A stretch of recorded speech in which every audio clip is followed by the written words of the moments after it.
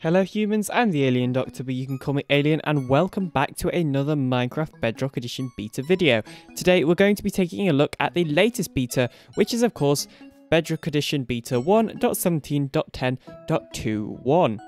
However, before we do that, I do just want to take a look at this. So, Minecraft on the official Minecraft Twitter account tweeted, grab your nearest uh, calendar and start circling with a vengeance. Caves and Cliffs Part 1 arrives June 8th on both Bedrock and Java.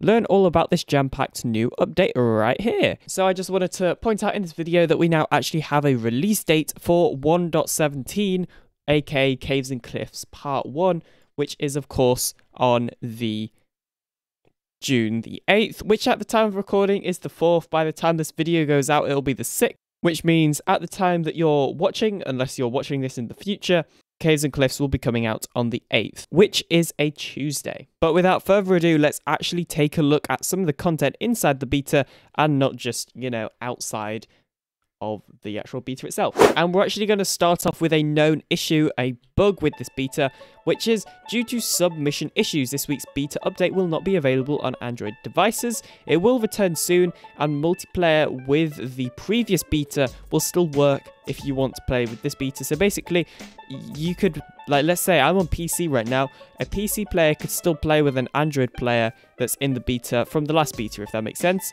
Because, uh, yeah, and the reason why is due to a submission issues. This most likely means that the uh, Google Play Store denied Minecraft beta to be submitted on there, or it could have just been that they didn't have enough time to submit it, or there's a ton of reasons why. However, it's basically that they couldn't get it on the Google Play Store. I believe they don't actually have that much details in the changelog about these sort of things, so that was speculation. So something they have added in this beta, which I've seen a ton of people raving about, is that you can now get potted azalea and potted flowering azalea in the flower pot, of course, which you craft using clay. And uh, I mean, this is actually my first time seeing it in game, and uh, I'm gonna be honest, I actually quite like it. Yeah, like these are pretty cool. Although I'm not sure if they replace my all-time favorite potted flower, which is the cactus. I just really like the way the cactus looks inside of a flower pot. I'm not sure. I guess you could be the judge of that in the comment section. Which one do you prefer? Potted as potted azalea and flowering azalea or the cactus. I'm, hmm, I don't know, I'm kind of 50-50 on it. So the rest of this video is going to be bug fixes. There aren't actually any new features that I can tell. This is likely because 1.17 is releasing so soon now that they have you know, got all of the actual features done and now just need to bug fix them, which is a good sign. The first bug fix was that diamond ore is now correctly uh, sort of distributed around the world, so it hasn't said whether there was too much or too little diamond ore, uh, you know, generating in the world. However, it should now be correct to what it will actually be. So, the glow lichen can now be destroyed and it will only be dropped when you mine it with shears. So, yeah, we got three there. If we try punching it, as you can see here, it does not drop. The other test I want to do is whether it drops if you mine it with a Silk Touch pickaxe. So let's see. And no, it does not drop when you mine it with a Silk Touch pickaxe. I personally think this is a bug, however, it might not be. The reason I think this is a bug is because you can mine other things that you would normally mine with shears and it will drop. So for example, obviously if we punch leaves, it won't drop. If we mine it with shears, then leaves will drop, and if we mine it with a silk touch pickaxe, leaves will also drop, which makes me think that the fact that the glow lichen does not drop is a bug.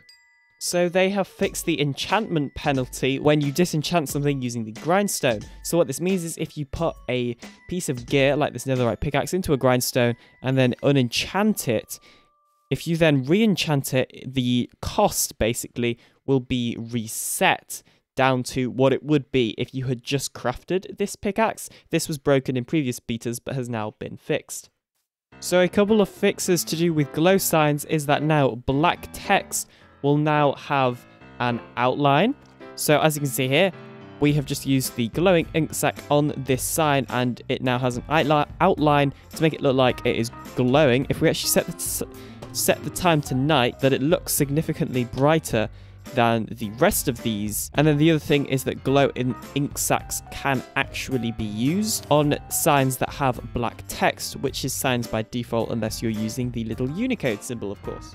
So the most like biggest change slash bug fix in this beta is basically they fixed a bug which has been in the game for nearly three years. In fact, maybe even over three years now. I can't remember. It's been in the game for a long time, multiple years basically. And it is that if you blow up a stray with a charged creeper, the stray will no longer drop a wither skeleton skull head, which you can use to get beacons, of course, because then you would use it to summon the wither to get another star to craft a beacon.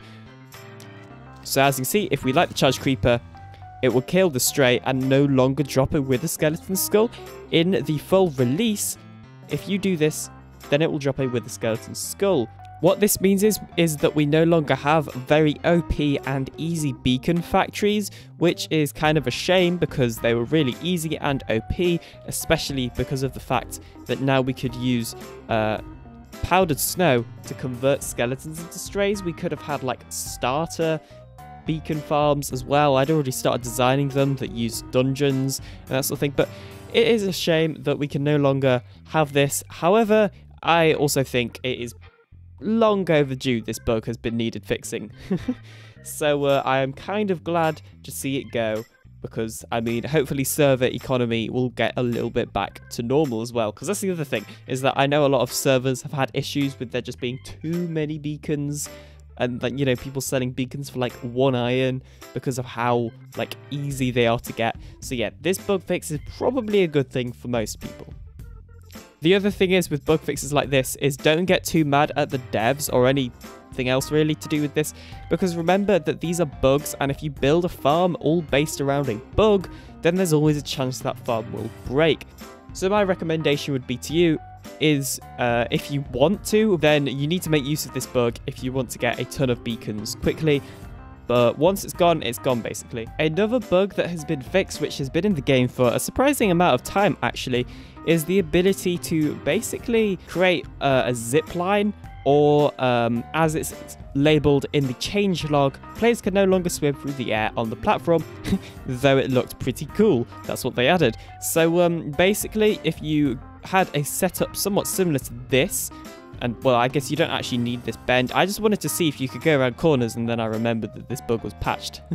so basically, what you'd be able to do is go into a bubble column, go into swim mode, and then if you swim through here and hold space, then you would basically stay on the ceiling and be able to swim around it. There'll be a clip on screen of someone doing that right now, and that clip will be linked in the description if you want to watch it yourself, because yes.